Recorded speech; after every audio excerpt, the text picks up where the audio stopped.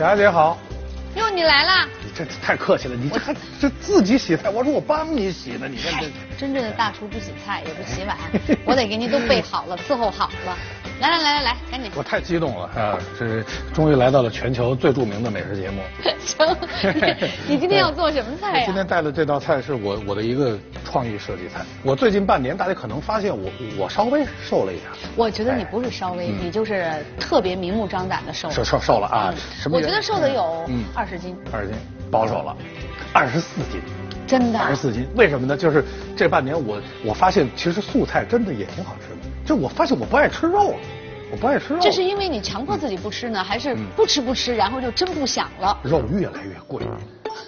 呃，今天我你是说咱的工资有点低是吗？别别别别，就是我我这人他比较节约，因为我平时我觉得呢，这个家里特别是人少吃饭的时候啊，你没有必要弄那么多样菜，你可以把很多材料啊，把它拼成一个不错的菜。哦，哎，其实这个好，还少洗碗。其实这个菜呢，它有个俗名叫炒八丝儿，但是我给它起了一个很艺术的名字——猪八戒大战七仙女，就一个猪肉，其他都是素的。然后呢，它都是丝儿啊。我给你拿肉去。哎，这这这这多来点啊！好嘞，我先洗个手，我先洗手。洗手在这儿呢。啊，嗯。我看他们之前来那咱们那些同事，大部分都摆样子，不知道为什么，感觉他们在家都是不拿锅的。接下来我们请小艾姐来示范一下切肉啊。呵，您感情就跟这儿体育解说呀？切 随切。你们这缺缺点东西啊？缺啥？没有围裙吗？一系上围裙呢，你就觉得是在一个油瓷麻花的地方，你觉得特别像在辛苦的劳动。您说的很有道理。嗯。但是这个我我有我的苦衷，就是我我这个星期啊，还要录一锤定音啊，还要早上直播，就就这一件衬衣。你说你们电视台主持人怎么这样啊？不知道多备一件衬衣啊？这个主要没钱啊？主要是家里边这这最近都我自己干活，媳妇儿她忙。媳妇儿忙，媳妇儿忙啥呢？忙怀孕呢，这个。哦，真的呀，恭喜你！啥时候当爹啊？年底。就就就这么个事儿，故意我就为扯这话头，你知道吧？特别高兴。我们切肉了啊，切肉啊。哟，专业。这叫片儿切对吧？这片片的不太好，这个 虾片啊，这叫上片啊。上片它不容易切到手啊。哎，为什么呢？我觉得上上片容易。因为上片你手离得近，你好控制。哦。是吧？这都是是之前做节目那厨师跟我说的。哎呦，专业，纵向的一铺，这样这个肉就好好嚼，它不会顺撇。哎，对。酱油少许。嗯。您准备这么多，这是做什么呀？我一想，你都满汉全席做的都是这个，我必须给你备齐全点啊。这是个大菜，这看着很 厉害的。其实，往往一般人这个时候就搁淀粉了。嗯。实际上搁点油的挺好。啊。为什么要搁油？考你一下。搁点油，它一会儿不粘锅呀。关键它把这个味道也封在里头了。我们这橄榄油就是多，你这太舍得了这个。橄榄油多吃点没坏是不？对对对对对。啊，你也是这样切成菱形。我觉得回家吃饭是一种极大的美德，因为我觉得在家里边吃饭才是吃饭，在外边那叫就餐。所以有的时候我觉得这个厨房啊，应该把它做的就是好一点、干净一点、美观一点，这样呢，你就边做饭的时候跟家里人聊聊天什么的特别好。对。芦笋切好了。对。这个菜呢，它虽然都是所谓丝儿，但实际上我们不追求让它所有的丝儿都是一样的。嗯。哎，因为因为像有的像芦笋，芦笋这个材料它切的太细是不现实的，到了锅里边也会变得很难看。哎，你是武汉人是吧？对。武汉人，我想求证一个事儿啊。哦。我们这儿曾经来过一位暖男。啊，是姓撒吧？啊，是是，我我认识他，我认识他。武汉人是不是看见热干面都？忘记了自己姓什么？它为什么叫热干面啊？嗯，因为它一热就容易干，一干呢它坨在一块了，坨在一块其实还挺好吃的，但是你往嘴里一塞吧，就容易把这个嗓子眼给堵住了。堵住之后它就会翻白眼，但是很爽，啊，那种感觉，就噎在口里那种感觉。过去不讲究说不让在公共交通工具上面吃东西，这是我亲眼所见。一个小伙子端着一碗面挤上一公交车，哎，咋咋，结果一上来一不小心。扣一大爷脚上了，这位大爷第一件事情是评价这个热干面，嗯，这是哪一家的？他先问这是哪家的，然后这小伙子，对不起，这是庞记的，怪不得这香啊。哎，你慢一点噻，这个时候他才想起来，你你怎么扣我脚上了？但这仅限于热干面啊。如果是牛肉粉的话，那肯定就得打架了。你怎么我刚这这这这样？接接着说这个啊，接着说这，我这个丝儿呢切的是比较糙的啊。但是我觉得你做这个饮食节目的时候，你那个口才那是一流的。哎呀，就是你能感觉是特别会做饭。我一直觉得你特别会做。坏了，这你说完这话，刀都拿不稳了哈。其实呢，我这么多年从各位烹饪大师这儿呢，我耳濡目染得出一个结论。嗯。中国餐饮的精髓呢，实际上是把很多。本来不怎么好吃或者不怎么能吃的东西，把它变成好吃的。比如四川火锅。哎，对对对，尤其是川菜，尤其你们川菜。对。哎呀，川菜真是，我真觉得那样不搁辣椒确实没法吃。而且你觉得川菜所有的食材很多都是登不了大雅之堂的。是的。但是为什么这么美味，受到全国人民的追捧？为什么呢？就是因为它的调味功夫尤其之好。茭白呀，我觉得北方的朋友吃的好像有点少。嗯。啊，是吧？嗯。我发现这个问题了。其实，在南方茭白是大行其道。嘿呦，专业，把中间的这个瓤都给它拿掉，这个瓤不好吃。确实不行，它有点糟。这跟他们不一样吧？这个太不一样了。他们就是有个颜值，真的。不是，这要真在家做这么一道菜这么长时间啊，确实也没必要啊。主要是我今天是要做一个十人份。对对对，我我我教你一个小窍门行吗你看你切青青椒在这面切吧，刀滑，容易切着手。它这边有光滑，翻过来。我试手试试试感觉，还真是啊！嗨，没那么滑。您早说呀！你看我都快切完了，我这好这我都快切着手了，您才告诉我这，真不白来我今天。我今从今以后啊，大家这是最后一次看到我从外边切啊，这是好了。下回来就从里头切了啊。没错，金针菇简单了啊，把下边一一切就完了，因为我们就就要。真浪费，切掉这么多。走你焯多久啊？我觉得就看着办吧。下锅之前先爆一点蒜片。嗯。哎，为什么这个冬笋要先焯一下呢？因为它它是腌制品，腌制品它沉积的亚硝酸盐就是可能稍微多一点，是吧？你这等于给它你得洗个澡，是吧？那那妖精吃唐僧还得先洗洗干净再蒸呢，是吧？我穿围裙了吗？穿了。穿了，明儿早上不是还要录节目？你这扔的啊，胡萝卜啊，胡萝卜，垫个勺呗。可以先不用，可以先不用啊。哎呦，还真垫呢。我认为应该搁这个了。冬笋。对。它是经过了腌制的，所以它耐煮。对，它本身，因为我这切的比较粗。哦。您这不炒肉啊？我给忘了。肉怎么？肉一会儿，一会儿，一会儿，一会儿，一会儿。我们 其实我们现在把肉直接倒进去呢，问题也不大。哎，我常常这样。就是，其实我就是这么想的。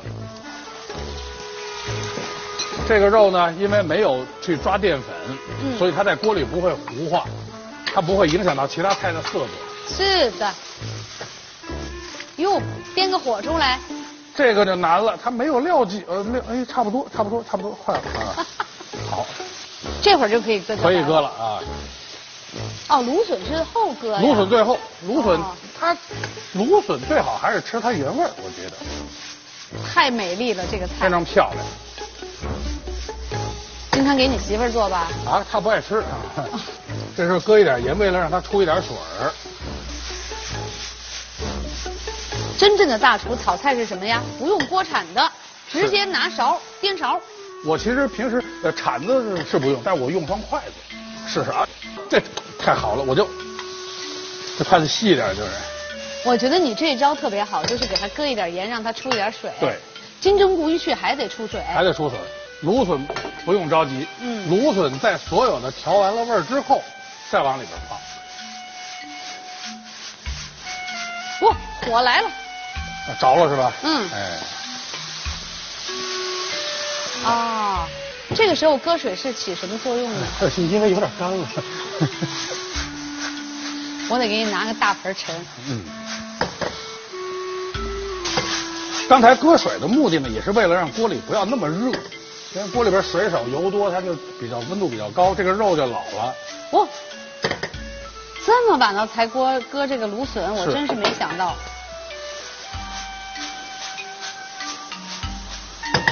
这是糖吧？对，搁一点儿。必须的，我就爱在菜里头搁糖。我这个动作一般在家，我媳妇不能看见。为什么？看见不吃了。搁糖啊？那你炒菜弄那么甜干什么？但是我觉得要提点鲜。没有这点糖啊，总感觉哪儿不对。有一点素菜里头一定要搁点胡椒。嘿，你这颠勺简直就完美。真的呀，他们这都不行啊，他们那个。嗯，没有任何人在你这儿能这样。来来来，走，颠着。太沉了，可以了，这行了这个。行了。好，这道菜的名字叫做“猪八戒大战七仙女”。哇，可能不够辣。啊，这哎，看样子能吃啊，看样子能吃。而且清香，我觉得你这个菜很难得的是清香。是，这这这我我最近为什么能掉二十多斤呢？就就是因为这个。不爱吃素菜的原因还是因为做的不好。今天我觉得我这就很有示范意义，种类一多又好看，而且味道营养都非常的齐全。肉先腌一腌，然后根据材料质地不同，依序下锅。而且一定要在下锅之前，在油里头呛这个蒜片，放了一点点胡椒，放了一点点糖。哎，胡椒和糖。酱油呢，最后放，但是一定要在芦笋之前放。还行是吧？非常好，非常好。整碗米饭，今天完美。这是这不能完美啊！你还没做呢是吧？你得做个硬点的菜。我感觉你不是说你吃素了吗？你不吃肉了吗？我我上这儿我要学习啊，抱着学习的态度，我吃一个傻丫姐做的一个很荤的菜，我要吃一个。嗯。行，我给你来个横的。好。吃虾吗？吃。你不是说你不是说虾吗？你这不瞎说吗？先来这个啊。哦，这后边还有是吧？当然。哦，你这。真是这这，要不然吃饭这也太，先要把它切了啊！哦，咱做饭快一点。嗯。嘿，一眨眼功夫就切成这样了。好。放一点点油，一滴。大火焯着水，你得让它开。这边吧，火点着。点着了啊。像夏天吃这个菜啊，就连姜带皮儿一起。嗯。因为姜。皮是寒的，所以这样呢就不见得那么上火。是，川菜这这一个菜多少钱？它一半是调料钱。对，你说，尤其是算贵的时候。这在姜和蒜贵的时候，这一把下去二十多块。姜和蒜，嗯，炸出香味来。接着炸，豆豉的香味出来了。这时候搁红辣椒。红辣椒也不能搁太早，因为搁太早它就糊了。这个的窍门是在一开始的时候放几粒花椒。哦，豆瓣酱。过了油炒的豆瓣它会红，你看，这个油看着看着就红了。这个油就不一样了，就成了川菜的油了。嗯，你能吃辣吧？我我不怕辣，啊，不怕辣。来，再给你来一勺。我这当我没说行吗？这。你看是不是红了？红了。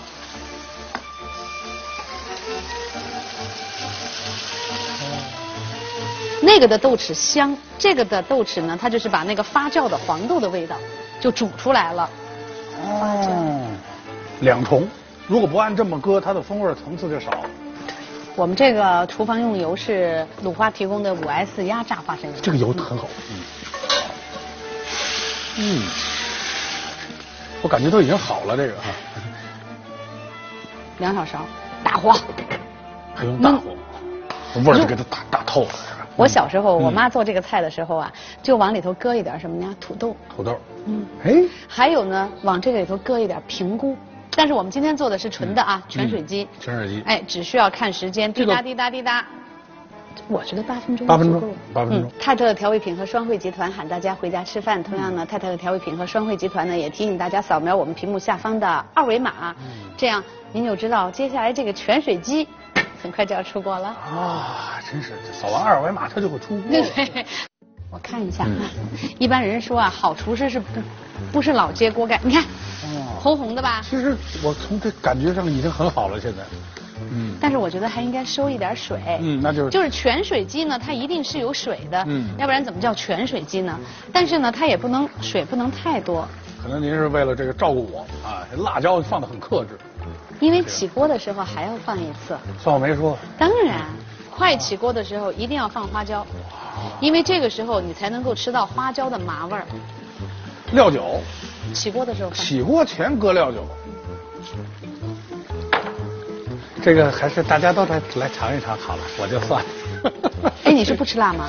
呃，这就是我看着好像这就很辣了，是吧？这个时候才搁葱。葱白，要先搁。川菜啊，就是搁小葱搁的多。这个菜呢，这个葱啊，它就相当于是这个菜的主持人，是吧？嘿嘿，认识小丫姐十几年了，头一头一回吃你亲手做的东西。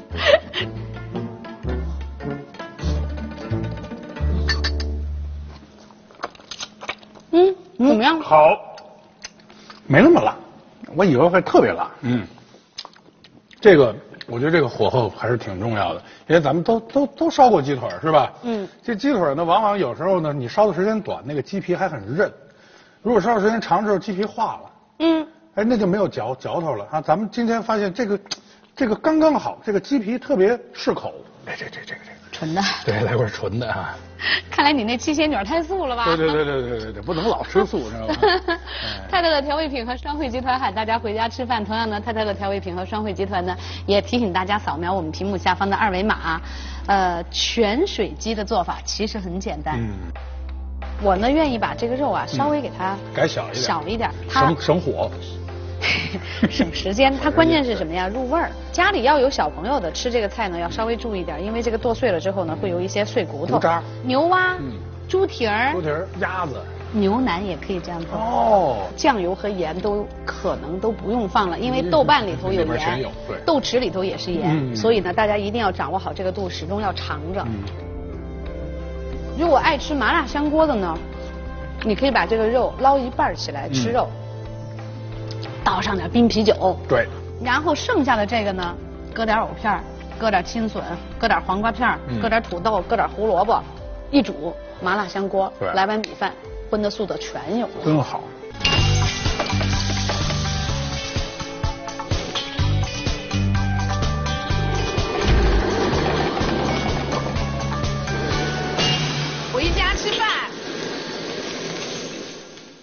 其实材料也不是说多么特别。很容易的，就是调料稍微贵点，这一菜费一斤多调料，是吧？就相对而言呢，你看我我这个菜呢就是不怎么费调料。你这个菜费菜。对，比较费菜的。这个卖多少钱一份呢？你那个卖多少来？一百零八。那就一百零九吧。就这么就这么定了，两个菜加在一块儿是多少呢？赶快算出来，扫描屏幕下方的二维码发给我们。然后明天你就知道了，这两个菜加起来是多少钱了。哟，还还真有哎，都排着队呢。